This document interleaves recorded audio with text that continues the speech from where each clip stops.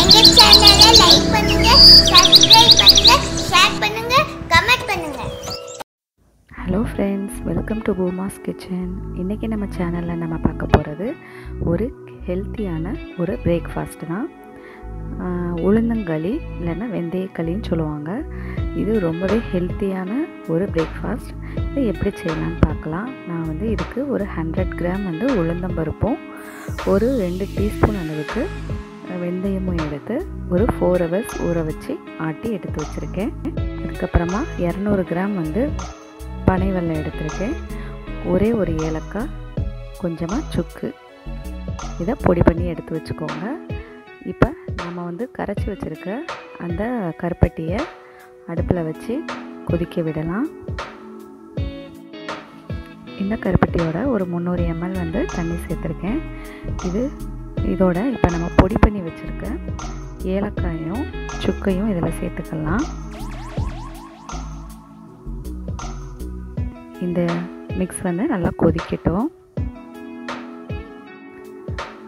இந்த கருப்பட்டி கரைஞ்சி ஒரு கொதி வந்ததுக்கப்புறமா இதை நம்ம ஃபில்டர் பண்ணி எடுத்து வச்சுக்கலாம்.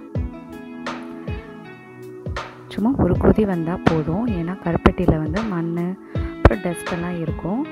அதனால தான் நம்ம வந்து ஒரு கொதி கொதிக்க வச்சு இதை ஃபில்டர் பண்ண போகிறோம்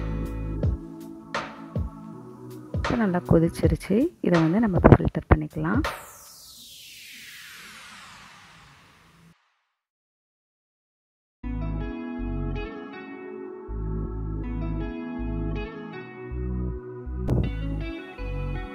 இந்த மிக்ஸோட நம்ம வந்து அரைச்சி வச்சுருக்க உளுந்தம்பருப்பு ப்ளஸ் வெந்தயம்.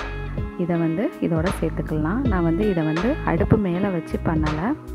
கீழே இறக்கி வச்சு தான் பண்ணுறேன் ஏன்னா நம்ம அடுப்புலேயே வச்சு பண்ணோம்னா அடி பிடிக்கிறதுக்கு சான்ஸ் இருக்குது அதனால் வந்து ஃபஸ்ட்டு நம்ம இதை நல்லா மிக்ஸ் பண்ணிக்கலாம். மிக்ஸ் பண்ணிவிட்டு எந்த ஒரு லம்ஸ் எதுவும் இல்லாமல் நல்லா கரைச்சதுக்கப்புறமா இதை இப்போ அடுப்பில் வச்சு நம்ம கொதிக்க விடலாம்.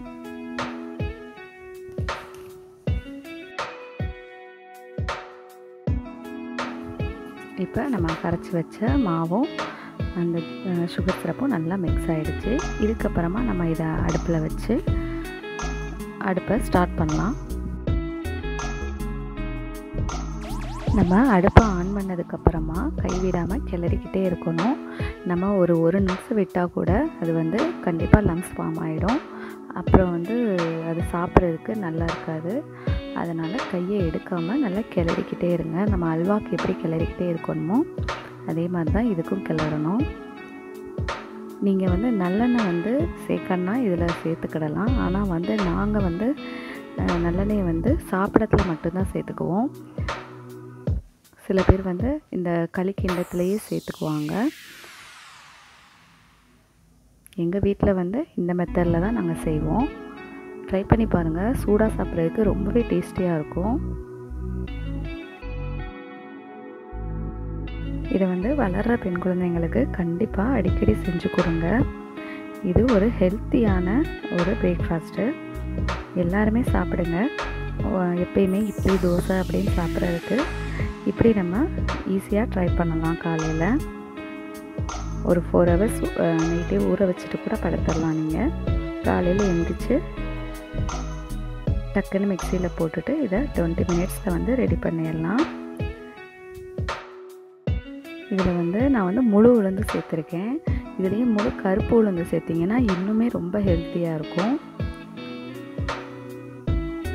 என்கிட்ட இப்போ அது இல்லை. அதனால் வந்து நான் முழு உளுந்து தான் சேர்த்துருக்கேன். உங்கள் வீட்டில் அந்த கருப்பு உளுந்து இருந்துச்சுன்னா கண்டிப்பாக அதில் ட்ரை பண்ணி பாருங்கள்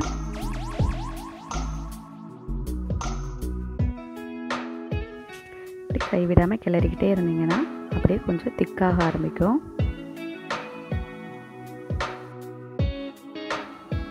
இதில் நம்ம கருப்பட்டி சேர்த்துருக்கிறதுனால அயன் கண்டென்ட் வந்து ஜாஸ்தியாக இருக்கும். அதே மாதிரி லேடிஸ்க்கு ஹிப் அண்ட் போன்ஸை வந்து ஸ்ட்ரென்தன் பண்ணுறதுக்கு இது ரொம்பவே ஹெல்ப் பண்ணும். ப்ரோட்டீன் ரிச் ஃபுட்டு வேறு. அதனால் வந்து கண்டிப்பாக வந்து இதை வீக்லி ஒன்ஸ் வந்து ட்ரை பண்ணி பாருங்கள் இப்போ இது ரெடி ஆயிடுச்சான்னு பார்க்குறதுக்காக பக்கத்தில் வந்து ஒரு கோல்டு வாட்டர் கொஞ்சோன்னு வச்சுக்கோங்க. அதை தொட்டுட்டு இந்த நம்ம கிண்டிக்கிட்டு இருக்க களியை தொட்டு பார்த்தீங்கன்னா அது ஒட்டாமல் இருந்துச்சுன்னா நம்மளோட களி வந்து ரெடி ஆயிடுச்சுன்னு அர்த்தம்.